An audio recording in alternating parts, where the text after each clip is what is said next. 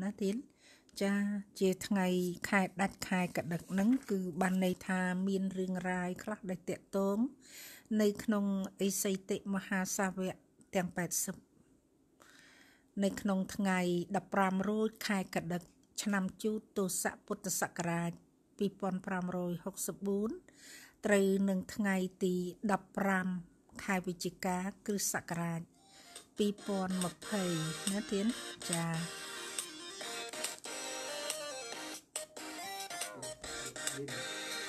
ចា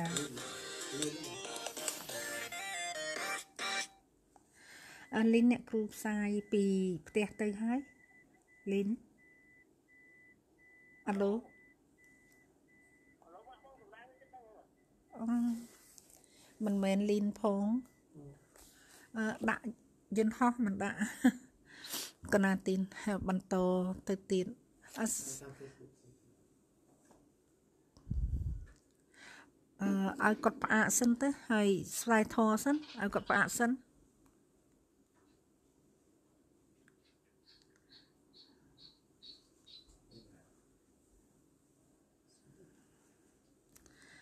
កណាទីនអឺឥឡូវនេះខ្ញុំបកណាខ្ញុំបន្តដោយការរអាក់រអួលបន្តិចណាទីនកណាហើយថ្ងៃនេះគឺជាថ្ងៃអាទិត្យ នីតិធម្មចរិយា គឺមាន3ថ្ងៃ នៅក្នុងមួយសប្តាហ៍ថ្ងៃសុក្រគឺម៉ោង9ទៅម៉ោង10ថ្ងៃសៅរ៍គឺម៉ោង8ទៅម៉ោង9ថ្ងៃអាទិត្យគឺម៉ោង8ទៅម៉ោង9ដូចគ្នាដូច្នេះនៅក្នុងមួយសប្តាហ៍យើងសិក្សារួមគ្នា គឺបាន3ថ្ងៃណាទៀនចានៅក្នុងរយៈពេល3ថ្ងៃនេះ គឺយើងលើកនៅក្នុងធម៌ដែលមានជំរឿការអប់រំចិត្តចាការអប់រំចិត្តព្រមទាំងសិក្សានៅក្នុងកម្ពីប្រត្រៃបៃដកហើយនឹងមានការជំនួយនៅស្មារតីការអប់រំនៅក្នុងជីវិតប្រកក្រតីជាក្រហោះចាទាំងការសែបគប់នៅក្នុងគ្រួសារដែលយើងត្រូវឲ្យកូនចៅសែបគប់ យើងត្រូវសែបគប់ជាមួយនឹងសប្បុរសដែលមានការចេះដឹងទាំងផ្លូវលោកនិងផ្លូវធម៌ទើបมันមានការទទួលនៅវិបត្តិអន្តរាយនឹងនៅពេលដែលយើងបានជួបជុំសិក្សាច្រើនអ្នកចេះដឹងច្រើនជួបបណ្ឌិតច្រើនក៏មានការបត់ពិសោធន៍នៅក្នុងជីវិតនេះត្រួសត្រាសចាជារឿយរឿយរាប់ឆ្នាំមកហើយ ដែលខ្ញុំបករណាខ្ញុំតែងលើក នៅក្នុងជីវិតគ្រួសារជាក្រហោះគ្រប់គ្រងផ្ទះដោយធัวគឺបានសុខយ៉ាងណាសូមជួយបិទទ្វារឲ្យផងហើយ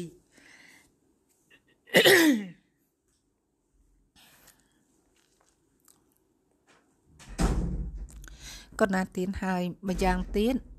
យើងនឹងបានសិក្សានៅក្នុងសូត្រអីខ្លះខ្លះអញ្ចឹងទៅណាទីណា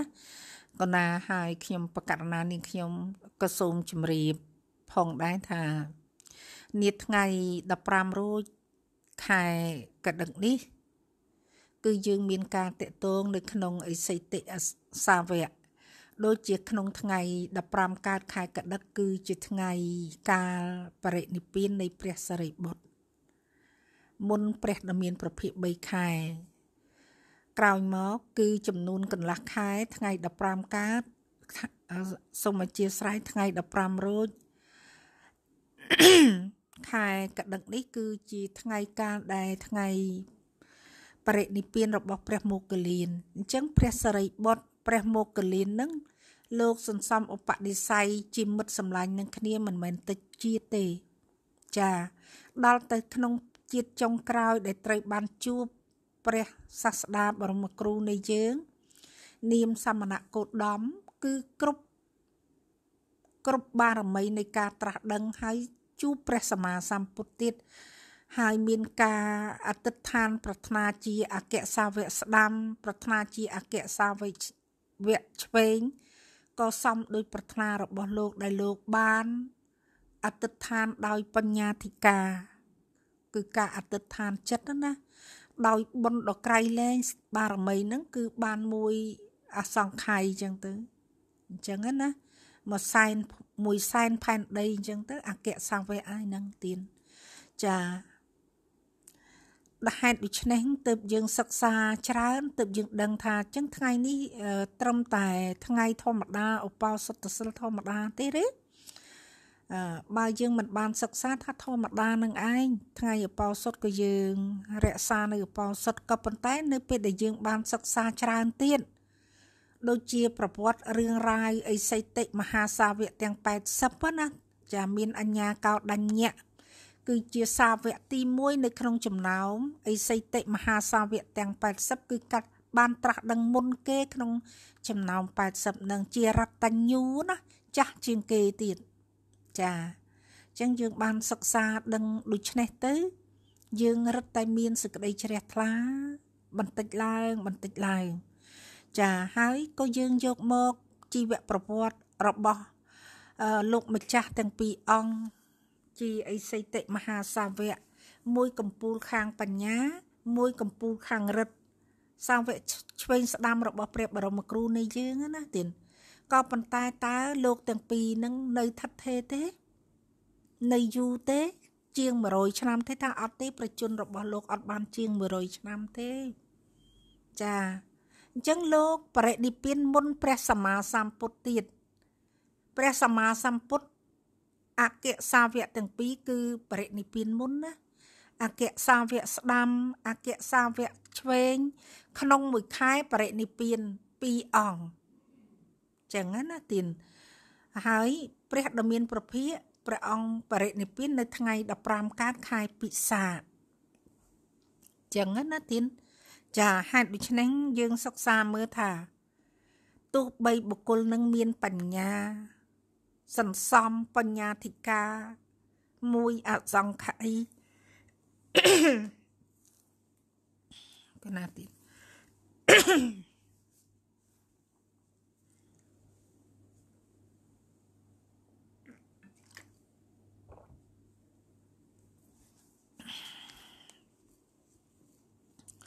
មួយអសង្ខ័យមួយសែនផែនដីហើយក៏ដោយដល់ពេលដល់កាលវេលាហើយព្រះអង្គទៅបរិនិព្វាននៅភូមិកំណើតរបស់ព្រះអង្គនៅនីឡង់ទាហើយលោកទាំងពីរមានស្រុកកំណើតរួមគ្នាទៀតព្រះមោគលានក៏នៅនីឡង់ទាអគ្គសាវកទាំងពីរមានភូមិកំណើតនៅនីឡង់ទានីឡង់ទានឹងឥឡូវហ្នឹងគេកសាងមហាវិទ្យាល័យពុទ្ធសាសនា និងសាសនាដ៏ធំ នៅនីឡង់ទានឹងដែលយើង បានទៅហើយបានថ្វាយបង្គំអញ្ចឹងណាទៀនចាហើយយើងមើលចោះឥឡូវព្រះសរិបុត្របរិនិព្វានទៅកំពូលខាងបញ្ញាមេតបធัวណាតែมันអាចទប់នឹងមច្ចុបាន ចាអត់អាចឈ្នះនៅក្នុងលោកនេះមច្ចុឈ្នះអត់បានឈ្នះមច្ចុអត់បានចាប៉ុន្តែមច្ចុ លែងរកឃើញទៀតបានតែត្រឹមនឹងឯង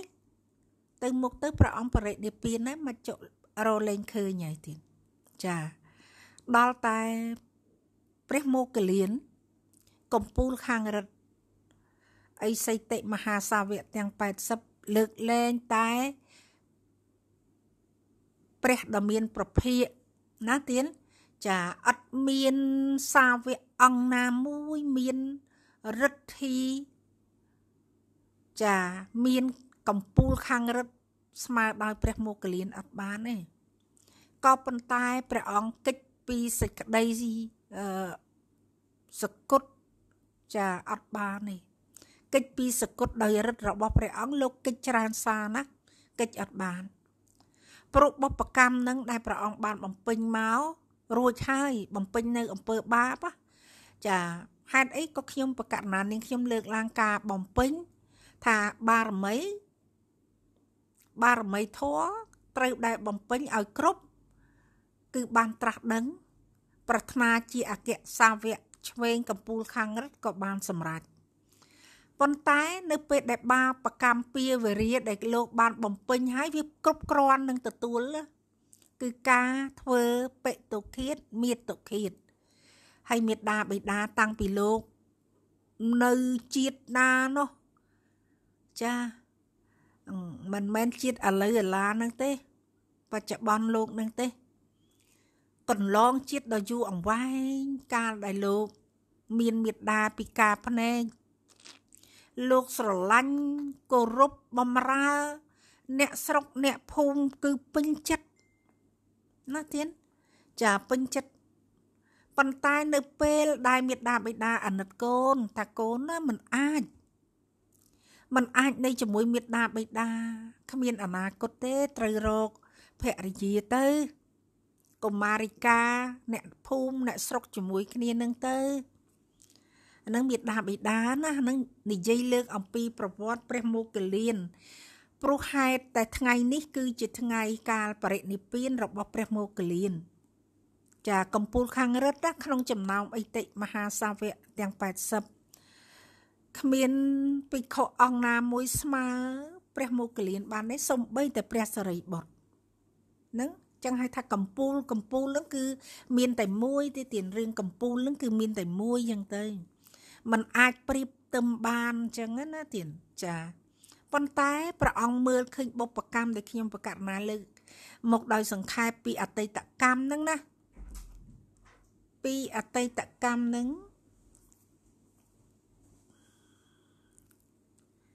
ពីអតីតកម្មនឹងលោកបំរើមេត្តាបិតាជាកូនប្រកបដោយធម៌ដ៏ពេញលេញដែលធ្វើឲ្យអ្នកស្រុកអ្នកភូមិគឺស្រឡាញ់រាប់អានណាស្រឡាញ់រាប់អាននឹកឃើញថាងប្រសិនបើបានកូន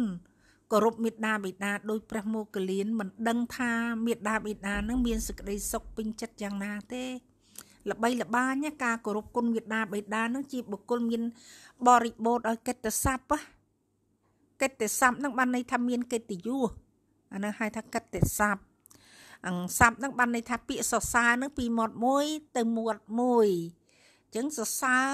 សរសើរពេញក្រុងនឹងប៉ុន្តែមេដាបេដានេះនឹកឃើញថាលោកពិការភ្នែកហើយកូនបាននៅតែមើលអញ្ចឹងអត់មានកសាងគ្រួសារ បានមានកូនចៅណា បន្តទៅនឹងមើលថែកូនទៀតបើមិនលំបាកហើយបើមិនមានគ្រួសារនោះក៏អង្វរឲ្យកូនប្រុសនឹងគឺទទួលកុមារិកាមួយនៅភូមិស្រុកនឹងទៅរៀបទៅដល់អង្វរលួងលោមឲ្យកូននឹងមានភរិយាអញ្ចឹងទៅក៏បានរៀបនៅមង្គលចា ហើយនាងនឹងឯងមុនដំបូងគឺគោរពគោរពណាទៀនចាដល់តែឃើញភរិយានឹងគោរពមេត្តាបិតារបស់ខ្លួនគួរជាទីទុកចិត្តគួរជាទីកក់ក្ដៅហើយអញ្ចឹងក៏ធ្វើការទៅទីឆ្ងាយពីភូមិ ដូចជាយើងធ្វើស្រូវដំណាំអីទៅធ្វើស្រូវកន្លែងធ្វើ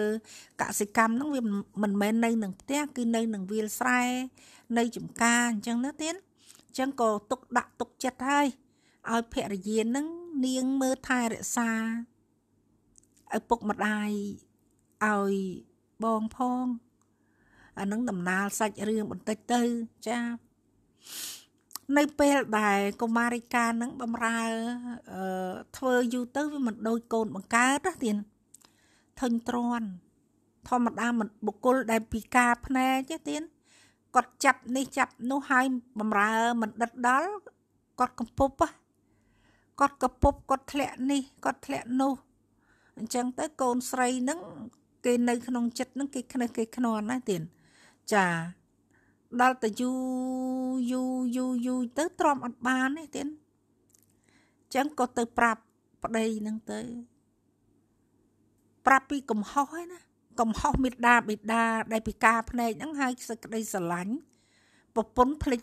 ឪពុកម្ដាយភ្លេចការគោរពមកជឿជឿកុមារិកាដែលជាប្រពន្ធភៈជាភរិយានឹងធម្មតាបើមានបំណង ធុញទ្រាន់ហើយលើកទោសទៀត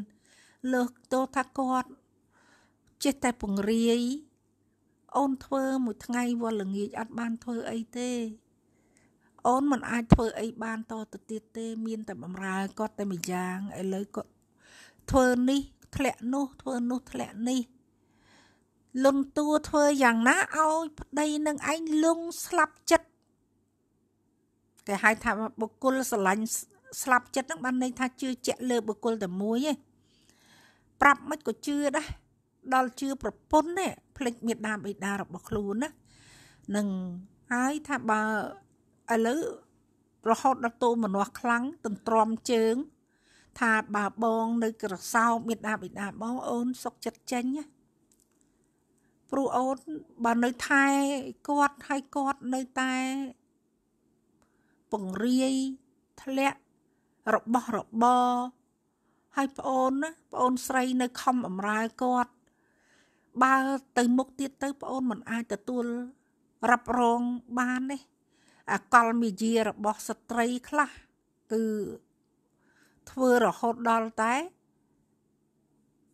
ប្តីនឹងឯងវងវែងចឹងណាទៀនស្ត្រីខ្លះចា បើមិនដូចជាในក្នុងគ្រួសារយើងធម្មតាក៏អញ្ចឹងដែរអញ្ចឹងណាទៀននៅក្នុងគ្រួសារយើងក៏អញ្ចឹងដែរមេដាបេដាមិនខ្វាក់ភ្នែកទេប៉ុន្តែស្ត្រីនឹងមិនពិការភ្នែកទេប៉ុន្តែស្ត្រីជាភរិយានឹងនាំភ្លើងក្រៅចូលភ្លើងក្នុងអត់អត់ថែរក្សាភ្លើងណាចាអានឹងឆេះទៀនឆេះធ្វើឲ្យក្តៅររៀលក្នុងគ្រួសារដូចជាព្រះមុខកលៀនអតីតព្រះមុខកលៀនអញ្ចឹងអញ្ចឹងជឿជឿប្រពន្ធនឹងឯងថាអញ្ចឹងបងយកគាត់ទៅបំបបងចោលទៅចាតែបើបងយកទៅបបបងចោលណាគាត់ទៅនឹងដើរមកអ្នកស្រុកអ្នកភូមិគេឃើញគេជួបគេសួរបងហើយគេសួរបងថាហេតុអីយកម្ដាយមកឲ្យដើរឲ្យវង្វេងពេញព្រៃពេញភូមិចឹង គាត់នឹងដើររមានអ្នកភូមិគេឃើញចឹងត្រាប់បងត្រូវមានមធ្យោបាយយ៉ាងណាមិនត្រូវឲ្យគាត់ត្រឡប់មកភូមិវិញទេអានឹងក្នុងន័យទេ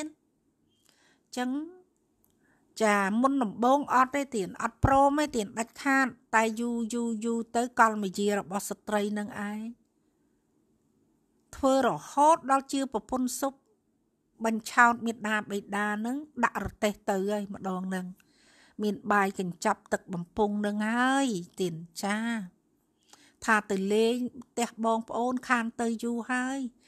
កូននឹងជូនលោកឪពុកអ្នកម្ដាយទៅលេងលោកឪពុកអ្នកម្ដាយអសបាយរីករាយថាកូនដឹកទៅជូនទៅលេងផ្ទះញាតិរបស់លោកមិនឆោតមានអីព្រះមុគលានអតីតនឹងយកទៅព្រៃជ្រៅឲ្យឪពុកម្ដាយនឹងអង្គុយចាំសិន កណ្ដាលព្រៃចឹងទៅណាទៀនហើយក៏ប្រើឧបាយថាដូចប្រពន្ធនិយាយអញ្ចឹងត្រូវធ្វើមធ្យោបាយយ៉ាងណាមិនឲ្យគាត់ត្រឡប់ទៅស្រុកវិញទេអញ្ចឹងណាទៀនចាចឹងគាត់បញ្ឆោតធ្វើចោលថាសេចក្តីអន្តរាយមកហើយមេដាបេដាមានអីទៀតហើយគាត់ពិការភ្នែកគាត់មានដឹងណាណេះសំដែងដើរតួចោលផង ចឹងណាទៀតចាដើរតួចោលលេងដើរតួកូនណាលេងដើរតួជាកូនកតញ្ញូដើរតួជាចោលសម្លាប់មេដាបេដាខ្លួនចឹងទៅហើយមេដាបេដាបានស្លាប់ដោយសារកូនបង្កើតរបស់ខ្លួនដែលគាត់គោរពពីមុនមកប៉ុន្តែដោយគាត់ជឿជាក់នៅលើប្រពន្ធណាដោយកលមេយារបស់ស្ត្រីណាស្រឡាញ់ងប់ងល់ចា ទៅកាន់នរកចាទៅកាន់នរកអស់អស់កាលយូរហើយហ្នឹងណាព្រះមោគលានណាប៉ុន្តែអតីតកម្មរបស់លោកដែលប្រាថ្នាតាំងពីព្រះសម្មាសម្ពុទ្ធអនោមតេសីបតមុត្តរៈអីតតមកឯងគឺអតិដ្ឋានប្រាថ្នាសុំតែអគ្គសាវកតែប៉ុណ្ណោះឆ្វេងកំពូលខាងរឹតជ្រះថ្លាណាទៀតច្រូតកាត់សេចក្តីទេ ដល់សេចក្តីអតិដ្ឋាន ប្រាថ្នានឹងអស់អស់បាបទៀតអស់បាបទៅកាន់នរុហើយដល់មកជាមនុស្សនឹងឯងបុណ្យកុសលមានណាជាកូនអ្នកមានអាណិតអ្នកមានមុខមាត់នៃស្រុកនីឡង់ទានឹងជាមិត្តសម្លាញ់ជាមួយនឹងព្រះសរិបុត្រហ្នឹងហើយដែលស្វែងទៅរកមុខធម៌បានសម្រេចគុណធម៌ច្រូតកាត់ទេណាទៀនប៉ុន្តែ ទីបំផុតអគ្គសាវកឆ្វេងកំពូលខាងរឹតបើលោកប្រាថ្នាទៅកាន់ទេវលោកដូចបត់ដៃនិងលាដៃចឹងហើយថាមួយប្រព្រឹត្តភ្នែកគឺទៅដល់ទេវលោកហើយនាំដំណឹងសัตว์លោក ប្រព្រឹត្តនៅអំពើបន់យ៉ាងណា បានទៅកាន់សុគតិគឺមកប្រាប់មនុស្សលោក ហើយទៅកាន់ឋាននរកមនុស្សបាបបែបណាទំងន់ដោយសារបាបកម្មអ្វីព្រះមកលៀនមកទូលព្រះដ៏មានប្រភីនិងសំដែងប្រាប់ដល់ពុទ្ធបរិស័ទអស្ចារ្យបនុននិករាជនៅក្នុងពីហុងណាទៀនចាគឺបង្ក្រាបបានយ៉ាងណាក៏ទៅបានដែរ ជ្រែកទឹកជ្រែកដីអីបានក៏ប៉ុន្តែ ព្រះមកកលៀនមិនអាចឈ្នះបុព្វកម្មដែលបានសម្លាប់មេដាបេដាអតីតកម្មអតីតជាតិហើយអ្នកដែលសម្លាប់ព្រះមោគលានបរមជាអគ្គសាវករបស់ព្រះសម្មាសម្ពុទ្ធបរមគ្រូនៃយើងហ្នឹងគឺមិនមែនអ្នកមានរិទ្ធអីមកសម្លាប់ ព្រះមោគលានទេ មកធ្វើគុតព្រះអង្គទេ គឺចោលទៀត500នាក់កបិតបថៃធម្មតាហ្នឹងឯងប៉ុន្តែលើកទី1មិនបានទេចុះព្រះអង្គសំដែងរិទ្ធណាទីនมันអាចបៀតបៀនព្រះអង្គបានទេចង់ចេញទៅតាមរុនសោក៏បាន តាមទ្វាតូចក៏បានតាមណាក៏បានដែរ ចាប៉ុន្តែព្រះអង្គពិចារណាបុព្វកម្មព្រះអង្គកិច្ចទៅណាក៏ត្រូវតែសគត់ដោយសារដំបងកំបិតដែរព្រោះព្រះអង្គបានធ្វើឃាតមេដាបេដារបស់ខ្លួនការអតីតកម្មហ្នឹងគឺដោយសារលំដាយលំពេងនឹងឯងដោយសារដាយហ្នឹងលោកក៏ព្រមទទួលទៀតក៏ព្រមទទួល ចឹងពួកអ្នកលេងហ្នឹងដែលគេជួលមកលទ្ធិដតីណាក្រោយព្រះសរិបុត្រកន្លះខែបុព្វកម្មហ្នឹងมันអាចឆ្លងផុតទេដឹងណាដឹងព្រះអង្គជ្រាបព្រះមុគលានក៏ទៅតាមយថាកម្មប៉ុន្តែ ក្រោយមកព្រះអង្គអតិថានមុននឹងសកុតណាទៅថ្វាយផ្គុំធាតទាំងអស់មកវិញដូចជាមានបជនចឹងទៀតទៅថ្វាយបង្គំលាបរិនិព្វាន របស់លោកនៅវត្តចេតពុនថ្វាយបង្គំលាដើម្បីបរិនិព្វានព្រះអង្គជ្រាបហើយក៏ព្រះអង្គទូលថាសូមមើលការដល់គូចុះហើយក៏ព្រះអង្គមុននឹងបរិនិព្វានព្រះអង្គក៏សម្ដែងនៅរិទ្ធជាព្រំជ្រែកទឹកជ្រែកដីបាំងភ្នំដើរលើមេឃដើរលើទឹកអស់ វិជាទាំងប្រមាណដែល ជាពុទ្ធវិជាគឺសម្ដែងសាវកទាំងឡាយបានឃើញ បានដឹងជ្រួតជ្រាប ហើយទើបព្រះអង្គថ្វាយបង្គំលា សំកាលដល់គូទៅចឹងចឹងព្រះអង្គបរិនិព្វានព្រះមោគលានថ្ងៃ15រោចខែកដឹកនេះឯងអានឹងដូច ខ្ញុំបកករណានាងខ្ញុំ លើកមកដើម្បីញ៉ាំងសេចក្តីជ្រះថ្លានៃអិសីតិមហាសាវកដែលជាអគ្គសាវកឆ្វេងរបស់ព្រះសម្មាសម្ពុទ្ធគឺព្រះអង្គបានបរិនិព្វាននាថ្ងៃ15រោចខែកដឹកនេះនិងប្រវត្តិរឿងរ៉ាវព្រះមោគលានឥឡូវយើងយករឿងនឹងយកមកវិភាគនៅក្នុងជីវិតយើងបន្តិចចា យើងត្រូវដឹងថាការគោរពការដឹងគុណចំពោះបុគ្គលណា ដែលយើងគួរគោរពគួរកោតក្រែងគឺមេត្តានិងបិតារបស់យើងពីព្រោះមេត្តាបិតាគឺជាព្រះអរហន្តរបស់កូនប្រុសស្រីចឹងណាទៀត នឹងនៅក្នុងធម៌វិន័យព្រះដ៏មានប្រភិយព្រះអង្គទ្រង់ត្រាស់ថាបុគ្គលណាមួយណាប្រសិនបើមានការចង់ត្រាស់ដឹង សម្រាប់គុណធម៌វាចាកការបិទុឃាតមេតុឃាតបំបាយសង់ធ្វើឲ្យលោហិត ព្រះអរហន្តពុះពង ធ្វើឲ្យលោហិត ព្រះសម្មាសម្ពុទ្ធពុះពង វាចាកចា កុំឲ្យមាននឹងអ្នកត្រាស់ដឹងហើយតែបើប្រសិនបើជាតិនេះ អ្នកបានធ្វើនៅសម្រាប់មេដាសម្រាប់បៃតាអ្នកឯងមិនអាចត្រាស់ដឹងបានទេព្រោះទៅកាន់នរកបាត់ហើយចឹងណាទានក្នុងជាតិនឹងចានឹង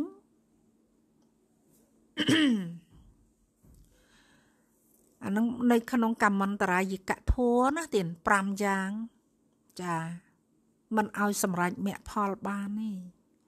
អញ្ចឹងយើងនឹកថាតើបុគ្គលដែលគូគោរពនឹងតបគុណឃើញទេក្រៅពីមេត្តាបិតារបស់ខ្លួន ត្រូវគោរពឲ្យបានល្អសេចក្តីចម្រើនដូចយើងគោរពទេវតាដើមបុព្វទេវីអញ្ចឹងទៀតចាហើយគោរពព្រះពាក្យថាព្រះអរហន្តគឺបានបនក្រៃលែងណា ចឹងកូនប្រុសស្រីណា ដែលបានបដិបត្តិបូជា ចំពោះគុណមេត្តាបិតាមិនសយត់គុណគ្រូអាចារ្យដែលអ្នកលោកនឹងហើយប្រទៀននៅវិជាឲ្យយើង មាននៅចំណេះចេះដឹងដើម្បីជីវិតនិងអនាគត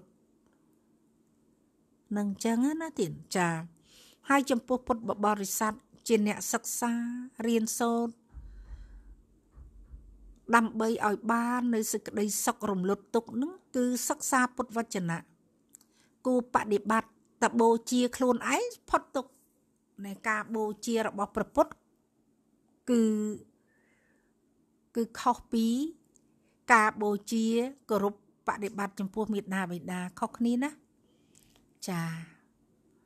កាលព្រះដ៏មានប្រភិព្រះអង្គមានប្រជជននៅ យើងបានយកចង្ហាន់ទៅប្រគេនព្រះសង្ឃ សាវកនិងព្រះពុទ្ធជាប្រធាន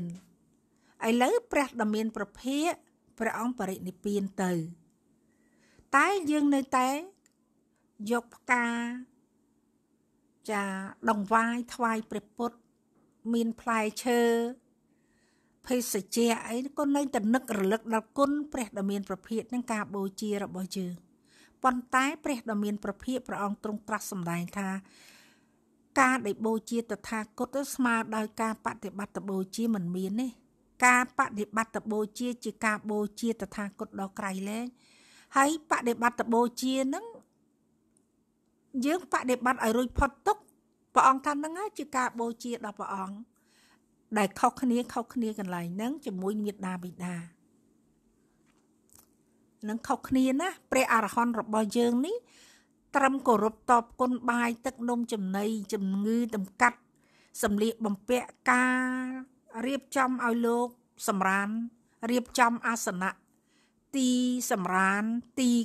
ទីអង្គុយឲ្យលោកបានស្រួលល្អស្រួលបួគុតមុតរបស់ប្រើប្រាស់គឺសំរុំមិនឲ្យគាត់កន្ត្រេកកន្ត្រាក់ហើយយើងខ្ញង់ទេអត់ទេ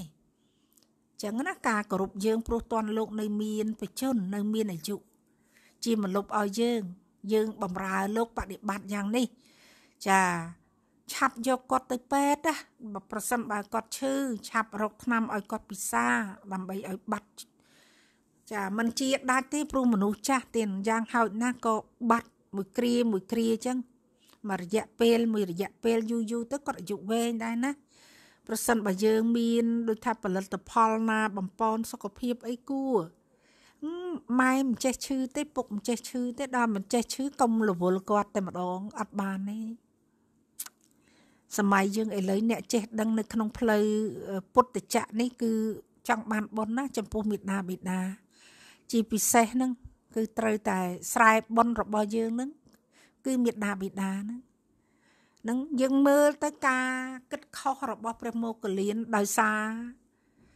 សេចក្តីស្រឡាញ់ភរិយា លើសមេដាបិតាធ្វើឲ្យលោកជាប់នៅអនន្តរិយកម្មហើយពីមុនជាកូនល្អណាមានកិត្តិស័ព្ទណាកតោខ្ទាណាទៀនចាក៏ប៉ុន្តែ លោកទទួលនៅបុព្វកម្មនឹងហើយលោកថាកិច្ចអត់ផុតទេ ហើយសម្រាប់ជាព្រះអរហន្តនឹងកម្មនឹងនៅតែតាម ជាស្រមោលអន្តោតាមប្រានតើតែព្រះអង្គបរិនិព្វានកម្មនឹងបានលែងតាមតន់ ចុះយើងមានកម្លាំងអ្វីដែលអាចទប់ទល់បាននឹងអំពើបាបរបស់ខ្លួននេះចាហើយយើងគិតថាងយើងសម្លាប់មនុស្សម្នាក់យើងធ្វើបាបមនុស្សម្នាក់ដោយការព្យាបាទឲ្យមានទៅជាក្រដោយការប្តឹងផ្ដាល់គ្នានេះ ហើយគ្រាន់តែមានបងប្អូនក៏ឈ្នាននេះគ្នាដែរញាតទាំងឡាយក៏មិនសប្បាយចិត្តនឹងញាតរបស់ខ្លួនខ្លះមានជាង ចុះបើមានចិត្តចរណែនអ៊ីសាខូរខើអញ្ចឹងខ្វះមេត្តានឹងមានពីហ្នឹងណាទៀនមានពៀមានវរានឹងគ្នាទៅមិនដឹងជាសត្រូវគ្នាពីកាលណាមកដូចជាព្រះបាទអជាសតុរឿងមានសត្រូវតាំងទុកព្រះរាជាជាសត្រូវមានអីដល់មកជាកូនបង្កើតខ្លួនឯងត្រូវសម្លាប់បៃតាហ្នឹងព្រោះទុកជាសត្រូវហើយពីជាតិគ្រប់ជាតិណាមក វាកម្លាំងបាបហ្នឹងវាគ្រប់គ្រាន់ធ្វើឲ្យសម្លាប់បៃតាបាន លោកដឹងហេតុនៃពីវេរានឹងទេទៀតចាហេតុនៃពីវេរានឹងណាដែលគួរឲ្យខ្លាចណាដែលសត្វលោកគួរតែចម្រើននៅមេត្តាចិត្តនឹងឯងអត្តានੰឧបមាំងកាត់ថ្វាក៏បីធ្វើខ្លួនឯងឲ្យដូចជាឧបមា ប្រសិនបើយើងមានគេមកធ្វើយ៉ាងនេះចា អត់អាលបំបែកបំបាក់យ៉ាងនេះសក្តីទុកនឹងកើតឡើងយើងក៏ទុកនឹងកើតឡើងណាចាតែយើងមិនគប្បីធ្វើឲ្យបុគ្គលណាម្នាក់វិនិច្ឆ័យដោយសារអំពើអាក្រក់របស់យើងទេ យើងអញ្ចឹងក៏មានមេត្តាចិត្តអត់ធ្មត់មិនធ្វើបាបដោយអំពើបាបណាមួយដោយវាចាដោយកាយដោយការនឹកគិតនឹង សំបីតែអ្នកនៅក្នុងផ្ទះកូនចៅបងប្អូនញាតិមិត្តរបស់យើងនិងអ្នកដែលជាមនុស្សជុំវិញរស់ក្នុងសង្គមរបស់យើងកុំឲ្យលោកបាត់បង់ទ្រព្យដោយសារការឈ្នាននេះរបស់យើងត្រេកអរคล้ายទៅជាមុទិតាគឺការត្រេកអរតាមចំពោះបុគ្គលដែលមានដែលបាន ហើយចេះត្រេកអរអំពើល្អអនុមោទនាសពបែបយ៉ាងយកតែ សេចក្តីល្អដោយការត្រេកអរទៅបុណ្យនឹងមកកើតដល់ចិត្តយើងហើយអញ្ចឹងណាចេនអញ្ចឹងនេះលើកពីបុព្វកម្មព្រះមោគលានទេប៉ុន្តែទោះយើងมันបានធ្វើក្នុងកាលនោះមិនដឹងកាលមុនយើងធ្លាប់ធ្វើអ្វីខ្លះយើងអត់ដឹងទេអញ្ចឹងយើងឈប់មិនដោយគ្រប់គ្រងដោយសតិនិងស្មារតីជាពុទ្ធបរិស័ទល្អបដិបត្តិបូជាចំពោះព្រះដ៏មានប្រភិយ គឺការបូជាព្រះពុទ្ធដ៏ក្រៃលែងនឹងគ្រាន់តែបដិបត្តិខ្លួនឯងឲ្យផុតចាកទុកនឹងព្រះសម្មាសម្ពុទ្ធថានេះឯងជាការបូជាដល់តថាគតដ៏ឧត្តមចឹងណានឹងដូចជាការគិតមិនល្អគឺធ្វើអាក្រក់គិតល្អអត់ធន់សម្រួមបានសុខបានឃើញធัว នឹងអញ្ចឹងទៀនចា បានឃើញធัวហើយគឺបានបដិបត្តិពលត្រូវហ្នឹងណាទៀនដោយបញ្ញាហ្នឹងណាទៀនចាកណាទៀនអឺដូច្នេះយើងនឹងសិក្សានៃលក្ខណៈបន្តិចអំពីលក្ខណៈទីចតុកៈនៃសេចក្តីទុកព្រោះមាននៅសមុទ្យៈខ្ញុំបកណានេះខ្ញុំបានលើកណា ថាការកំណត់ដឹងនៅសេចក្តីទុកនឹងអ្នកសិក្សាគ្រាន់តែឮថាការកំណត់ដឹងនៅសេចក្តីទុកនឹងចុះកំណត់យ៉ាងម៉េចកំណត់យ៉ាងម៉េចដើម្បីឲ្យដឹងទុកប្រសិនបើយើងមិនសិក្សាកំណត់ដឹងសេចក្តីទុកទេយើងអត់ដឹងថាទុកកើតអំពីអ្វីទេយើងដឹងតែថា អ្នកដតីបៀតបៀនយើងទៅយើងកើតទុកបើគេមិនបៀតបៀនទេ យើងអត់កើតទុកទេយើងសុខតែក្នុងគ្រួសារយើងឃើញយើងអត់បានសិក្សាទេ ដល់តែព្រះដ៏មានប្រភិព្រះអង្គទ្រង់ត្រាស់ថាប្រសិនបើមាន អ្នកក្រៅសាសនាណាសួរថាតើអ្នកបដិបត្តិយ៉ាងម៉េចនៅក្នុងសាសនាព្រះសមណគោតមនឹងធម៌នឹងបដិបត្តិមិន ចឹងឲ្យពុទ្ធបរិស័ទរបស់ព្រះអង្គថាប្រសិនបើគេសួរអញ្ចឹងថាធម៌របស់ព្រះសម្មាសម្ពុទ្ធការបដិបត្តិគឺឲ្យកំណត់ដឹងនៅទុកហ្នឹងឃើញទេល្អណាស់ពីរោះណាកន្លែងហ្នឹងហើយយើងខ្លាចទុកណាទៀនកុំនិយាយហើយកុំនិយាយរឿងកើតទុកនាំគ្នាសបាយសបាយតែកុំនិយាយកើតទុកស្រីស្រាលបែងមកដល់នេះហើយនិយាយរឿងកើតទុកធ្វើអី មិនឲ្យនិយាយកើតទុកទេឲ្យនិយាយរឿងសបាយច្រៀងសបាយរំសបាយអញ្ចឹងទៅអ្នកខ្លះគាត់មានពេលកំណត់គាត់អីអញ្ចឹងទៅណាទៀនគាត់ចូលចិត្តគាត់ចូលចិត្តអីអញ្ចឹងណាទៀន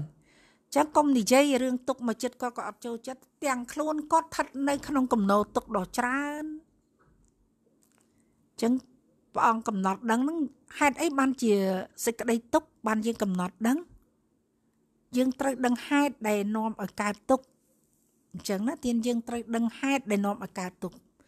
ការកំណត់ដឹងនៅទុកតតែដឹងហេតុដែលនាំឲ្យកើតទុកអញ្ចឹងហេតុដែលនាំឲ្យកើតទុកព្រោះអ្វីព្រះដ៏មានប្រភិបព្រះអង្គទ្រង់សម្ដែងថាគឺសេចក្តីប្រាថ្នាសេចក្តីត្រូវការគឺតណ្ហា លក្ខណៈតិចតុកៈរបស់តណ្ហាហ្នឹងយើងសិក្សាទៅមាននៅ4នោះហេតុលក្ខណៈគឺជាហេតុនៃទុកទាំងពួងជាលក្ខណៈហ្នឹងចាអភិនតអ្នករក្សា មានសេចក្តីត្រេកអរពេញចិត្តក្នុងអារម្មណ៍ភូមិនិងភពជាកិច្ចអានឹងលក្ខណៈតិចតុកៈចូលព្រះអភិធម្មបន្តិច លំអិតវិភាគអំពីតណ្ហានឹងជាហេតុនាំឲ្យកើតទុក្ខសិនតើពិតឬមិនពិតហើយយើងប្រាថ្នាក្នុងភពតូចនិងភពធំមែនទេប្រាថ្នាជួបទៀតប្រាថ្នាមិនជួបទៀត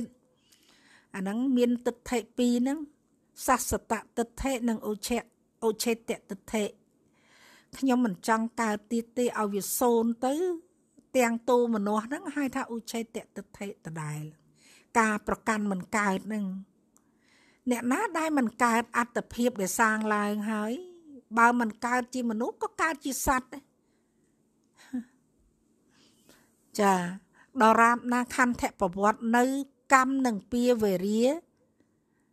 ទៅកាន់នរោកើតមកក៏សត្វដេរិឆាន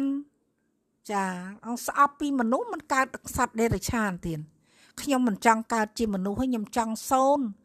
ហើយសូននឹងដែលបានទេសូនមិនដែលសូនទេទៀតកុំគិតថាសូនព្រះនិព្វានគឺអបដិសន្ធឹងមិនមានបដិសន្ធិប៉ុណ្ណឹងគឺសូនសូនដែរប៉ុន្តែសូននៅក្នុងព្រះវិន័យនេះគឺសូនចាកសេចក្តីប្រកាន់នេះបានសូនបានហៅថាសូនមិនមែនយើងនឿយណាយហើយយើងថាមិនចង់កើតជាមនុស្សឲ្យវាសូនណា អត់មានសូនទេអត់មានដាក់លេខសូនទេទៀតចាដាក់លេខមានបើស្អប់បុគ្គលនេះក៏ទៅជួបបុគ្គលនោះគួរឲ្យស្អប់ទៀតដែរព្រោះកិលេសនៅមានតោមនោះនៅមានរឿងអីមិនស្អប់ស្រឡាញ់ស្អប់កប់ទាស់នៅមាននៅចិត្តពុទ្ធជនយើងមិនមិនជួបជួបទៀតទៅជួបជាសត្រូវទៀតទៅ ជួបរហូតដល់ទៅកាន់នរកទៀតទៅអាហ្នឹងការចងពៀវេរា ដោយបុណ្យកុសលព្រះបាទអជាសតុអ្នកថែប្រលៀនចែកដីហើយយើងគិតថាប្រលៀនចែកដី គឺសម្រាប់ជនប្រុសស្រីទៅថ្វាយបង្គំគេកើតបុណ្យដល់គាត់កើតបាប នៅពេលសម្គាល់ថាគេអត់ដោះស្បែកជើងគាត់ថានឹងទៅជាតិណាមួយគាត់វះបាតជើងហ្នឹងគាត់តាំងទុកព្រះរាជានឹងឯងជាសត្រូវរហូតដល់គាត់ប្រាថ្នាស្រាប់តែកើតមកជាបុត្រហ្មង បុត្ររបស់ព្រះបាទពុំវិសាលហើយព្រះបាទពុំវិសាលនៅក្រុងរាជក្រឹសនឹងលោកសម្រាប់សោតាណាព្រះរាជាសម្រាប់បានសោតាណាទៀនចាហើយចំណែកបុត្រចង់បានមានចិត្តចង់បានសោយរាជស្រាប់តែមានចិត្តចង់ធ្វើគុតបិតាអាចិត្តពៀវិរិយពីមុនមកដល់តែដោយលោភៈហ្នឹងគឺត្រូវសម្លាប់បិតា មានពេលមួយ ដែលសម្រាប់លោកទ្រង់ដឹងលោកកិច្ចតន់ណាកិច្ចកិច្ចពីប្រខណ្ឌបុតបាន ថាបុតកុំធ្វើដល់ប៉ុណ្ណឹងអីបើផុតពីបិតាបុតនឹងបានឡើងសួរសោយរាជហើយមិនបាច់ដល់ធ្វើគុតបិតាទេ ប្រាប់ម្ដង ហើយហាមមិនឲ្យគេទៅចាប់បុតដឹងដាក់ទោសទណ្ឌទៀតណាបៃតាមាន ព្រមវិហារធម៌ពិតមែនលោកសម្រេចគុណធម៌តែជៀសមិនផុតនៅកម្មបបកម្មរបស់ ព្រះបាទអជាសតុដែលមានគំនុំតាំងពីលោកថៃរក្សានៅពលានចេតីលោកអត់ព្រមស្ដាប់តាមខ្សែគប់តាមទេវទត្តណាទៀតទេវទត្តថាអាត្មាដណ្ដើមព្រះពុទ្ធធ្វើជាព្រះពុទ្ធចំណែកអ្នកដណ្ដើមរាជសម្រាប់ធ្វើគុតបិតាទៅយើងក៏ធ្វើគុតព្រះដ៏មានប្រភិដែរនេះ ចែកគ្នាដើម្បីព្យាបាទណាចាខ្សែគប់គ្នាដើម្បីនាំគ្នាជាឃាតករសម្លាប់ទៅវិញហើយគុណធម៌មានអីមួយមានតអត់អីបួសក្នុងសំណាក់ព្រះដ៏មានប្រភិយទៀតណាពិខុទៀតណាមិនមែនសាមណេរទេហើយចំណែកព្រះបាទអជាសតុគឺលោកជាបុតស្ដាច់ចាស់មិនមែនប្រជានារីបះបោអីទេ ជាបុតគប់ហរតេរបស់បិតាទៀតណានេះកម្មនេះ គឺវាឆ្អិនវាមានកម្លាំងវាគ្រប់គ្រាន់អញ្ចឹងសិក្សាអំពីសេចក្តីទុកកំណត់ដឹងនៃទុកនឹងរបស់សត្វលោកដែលមិនដឹងទុកនឹងព្រះអង្គឲ្យស្គាល់ហេតុដែលនាំឲ្យកើតទុកគឺតណ្ហាហើយតណ្ហាលក្ខណៈទីចតុកៈហ្នឹងគឺមាន4ហ្នឹងដែលយើងសិក្សាចូលវគ្គទី2គឺ អភិន្តៈអ្នករក្សានេះ គឺមានសេចក្តីត្រេកអរពេញចិត្តក្នុងអារម្មណ៍គឺមានភូមិមានភពជាកិច្ចអត្ចាអតិតភិវៈបច្ចុបឋានាធ្វើឲ្យសហជាតិធัวមិនឆ្អែតក្នុងអារម្មណ៍6ជាអាការៈប្រកបចាសេចក្តីត្រូវការត្រេកអរតណ្ហាថាប៉ុណ្ណេះបាន គ្រប់អត់គ្រប់ទេ អត់ចេះគ្រប់ទេទៀតអានឹងលក្ខណៈទី3ហ្នឹងគឺល្អិតល្អន់អញ្ចឹងដល់ទី4វេទនាបតតឋានាមានវេទនាជាហេតុចិត្តគឺសុខវេទនាជាហេតុចិត្តចង់សុខចង់សោមនស្សចង់ត្រេកត្រអាលចាប់កូនគេទៅចង់បានចង់មានខ្ចីបុលគេទៅបងរំលោះទៅ អង្គធរគឺលោភៈចិត្តសឹកចា ដូច្នេះចិត្តដែលប្រកបដោយលោភៈសំដៅលើបុគ្គលដែលប្រកបដោយលោកលោភៈហ្នឹងគឺសភាវៈនៃចិត្តបុគ្គលហ្នឹងគឺសេចក្តីលោភហ្នឹងយើងធ្លាប់តែថាឲ្យគ្នាឯងអូយកុំលោភពេកបានហើយប៉ុន្តែខ្លួនយើងមានសេចក្តីត្រូវការបើមិនត្រូវការរបស់ហ្នឹងក៏ត្រូវការរបស់ផ្សេងដែរទៀតកុំថាយើងអស់លោភៈអស់លោភៈតទៅព្រះអរហន្តទៅអស់លោភៈ ព្រះអនាគាមិបុគ្គលអស់លោភៈចំណែកបឋមយើងមិនចាំបាច់អួតថាយើងមិនមានលោភៈទេអញ្ចឹងយើងសិក្សាអំពីទុកនិងហេតុដែលនាំឲ្យកើតទុកជាសច្ចៈដែលធ្វើឲ្យសត្វលោកនឹងគឺមានការរស់នៅដោយរន្ធត់ភ័យខ្លាចអភ័យទៀតចាអភ័យអភ័យសត្វលោកយើងមិនមែនអហើយសុកទេ បានហើយរីករាយសុកទេភ័យភ័យនឹងចម្ពាក់គេហ្នឹងចង់បានថាយើងចង់បានសុកតែយើងមិនមិនដឹងរបៀបដែលសេចក្តីសុកនឹងវាយ៉ាងម៉េចយើងចេះតែគិតថាសេចក្តីសុខរបស់សត្វលោកតតែមាន បានទ្រព្យសម្បត្តិបានសុខអានឹងគិតខុសហ្មងទៀតគិតខុសគិតខុសហ្មងទៀត ពិចារណារួមគ្នាសិក្សាពីព្រះពុទ្ធវចនៈមកពិចារណាទាំងអស់គ្នាណានឹងបានថាយើងសិក្សារួមគ្នាក្នុងនីតិធម្មចរិយា គឺការប្រព្រឹត្តល្អទៅតាមធម៌នឹងយើងចង់បាននៅសេចក្តីសុខយើងស្វែងរកទ្រព្យបានថាយើងសុខប៉ុន្តែនៅក្នុងធម៌វិន័យមិនមែនមិនឲ្យយើងត្រូវការទេប៉ុន្តែប្រមាណ ក្នុងជីវភាពរបស់យើងសុខដូចគ្នាព្រោះសុខមិនសម្លឹងខ្ពស់ហួសប្រមាណអាហ្នឹងនិយាយជាពាក្យសជីវធម៌ថ្នាក់ថ្នមចិត្តគ្នា ថាកុំបន្ទោសគ្នាហ្នឹងហើយប៉ុន្តែហេតុនៃធម៌គឺចេញមកថាសុកយើងនឹងប្រសិនបើយើងមិនចេះប្រមាណទេបានមកក្នុងក្នុងភ័យឥឡូវបានមកហើយហេតុអីក៏ភ័យព្រួយទៀតហើយ ចឹងណាចាឡានអត់មាន សមត្ថភាពគ្រប់ទេដល់តែជីជីទៅមិនទាំងទាន់គ្រប់លុយឲ្យគេផងអញ្ចឹងណាទៀនចាឥឡូវនេះគឺពេលវេលាដល់ហើយខ្ញុំបកករណាខ្ញុំសូមលើកនៅកុសលទាំងឡាយដែលកើតអំពីធម្មទាននឹងជូនដល់ប្រជាពុទ្ធបរិស័ទទាំងអស់ សូមឲ្យបាននៅសេចក្តីសុខរួចផុតចាកទុក្ខកុំបីខាននៅក្នុងគណៈពេលនេះ ហើយជូនដល់ត្រីមុខទាំងអស់ផងទៀតចាគឺ25ខេត្តក្រុង និងអ្នកឧបត្ថម្ភកម្មវិធីគឺសមាគមធម្មទានជាដើមចាហើយនឹងអ្នកឧបត្ថម្ភតាំងពីដើមមកនៅក្នុងស្ថានីយទូរទស្សន៍មានកូនច័ន្ទសុវតីជាដើម អូនសុងលីអេងចិន្តា សូមឲ្យកុសលផលបុណ្យនិងប្រជាពុទ្ធបរិស័ទកូនចៅទាំងអស់បាននៅសេចក្តីសុខណាលោកណាហើយបំណងប្រងប្រាថ្នាយ៉ាងណាក៏សូមឲ្យបានដូចបំណងចោះគឺនៅក្នុងផ្លូវកុសលផលបុណ្យដែលបានមកប្រកបដោយធម៌ដូច្នេះក្នុងគណៈពេលនេះខ្ញុំបកករណានេះខ្ញុំ សូមក្រាបថ្វាយបង្គំលានិងសូមជម្រាបលាចា៎